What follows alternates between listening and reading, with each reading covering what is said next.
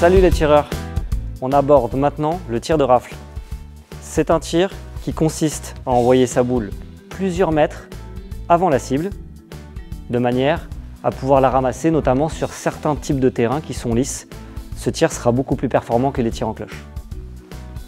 Pour réaliser ce geste de manière impeccable, il faut bien visualiser l'endroit où la boule va atterrir.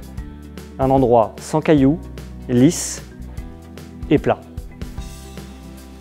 Pour ce faire, on va rentrer dans le rond, on va bien observer le terrain, regarder la boule et revenir à l'endroit qu'on a choisi pour jeter sa boule.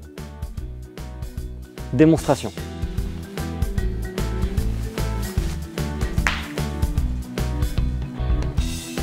On le sait, la rafle est une technique décriée.